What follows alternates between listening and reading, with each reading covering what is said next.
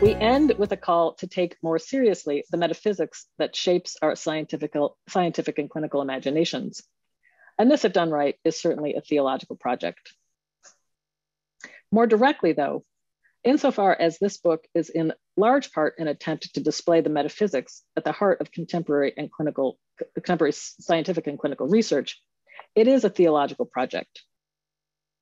More specifically, this book is a theological exercise insofar as it seeks to carefully unmask the hidden role of what Pope Francis calls, quote, the economy that kills. What in the Catholic tradition, both John Paul II and Pope Francis have rightly named an idolatry. Mammon, we argue, is the metaphysics of the day, a master that demands our service. So, in the end, a key question for all of us, but particularly our academic and professional disciplines, is how deeply are we enthralled to this master in ways that we may not even know?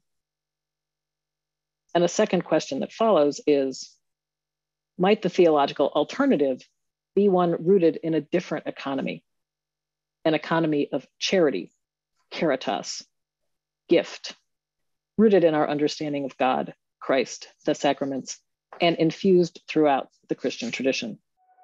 Thank you.